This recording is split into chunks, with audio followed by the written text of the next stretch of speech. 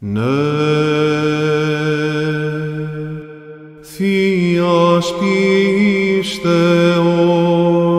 το αμφιβλίστρο εζωγρήσατε εθνών αγέλας ευδομικόντα Κυρίου Απόστολοι προς ευσεβίας την Θείαν επιγνώσιν ως δεδεγμένη